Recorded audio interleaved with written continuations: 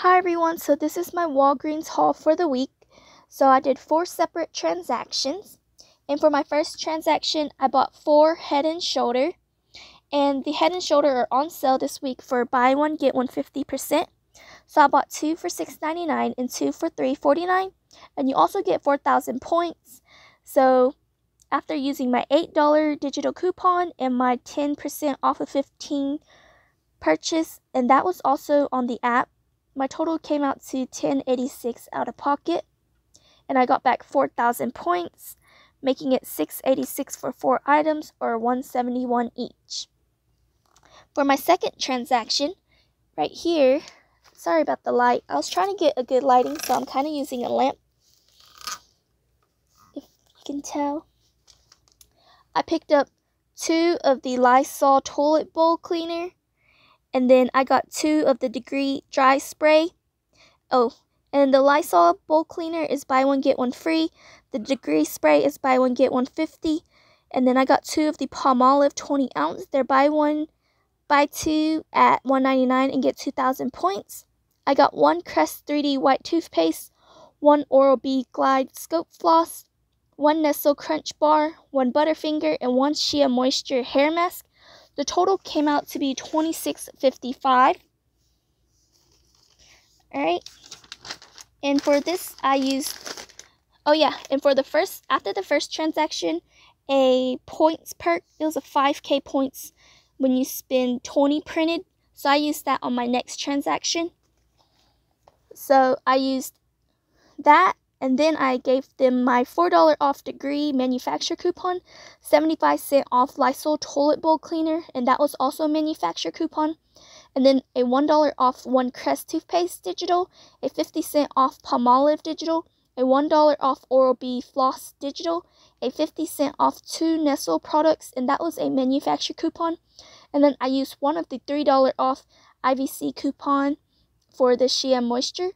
So I paid fifteen eighty out of pocket, and I got back two thousand points for the Palmolive, five thousand points for the points per coupon, and so that's seven thousand points in total, or seven dollars. For the so the final price for eleven products was eight eighty.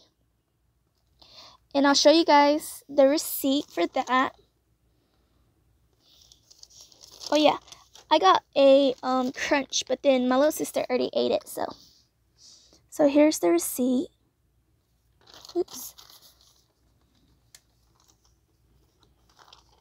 And here's all the coupons that came off. Alright. And then for my third transaction, I got two degree. Here, let me move this. I got two degree men's spray. They're six forty nine but then they're on sale for buy one get 150 so one is for 649 and the other one is for 324 then i got two scott paper towel the five dollar ones. And so one is five dollars and one is for 250 then i got one of the downy for 295 my total came to 1968 i used the 5000 points for $20 and it worked Sorry, I miscalculated that, but the total should be 2018, and then you use the 5,000 points when you spend 20. Then I also used one of the $4 off degree, one of the 75 cent off one Scott, and the Scott one was a digital coupon, and then the degree was a manufacturer coupon.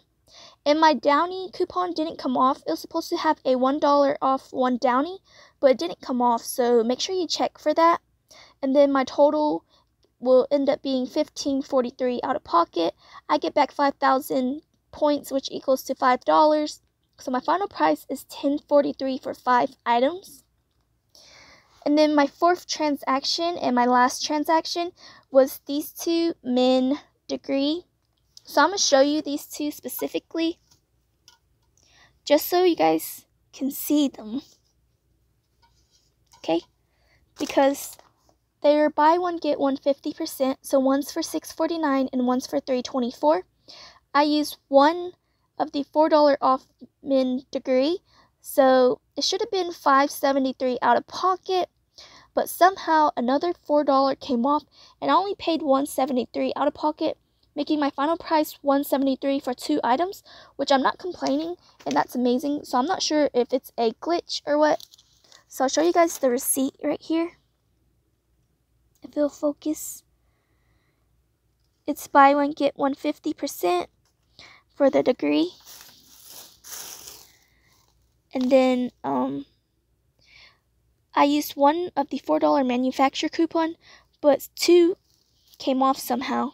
So it made it 173. And I also bought degree in the other one too, so but it didn't come off like two four dollars. It only came off one. So I'm not sure. Alright you guys, so that is my Walgreens haul. Thank you for watching. Bye.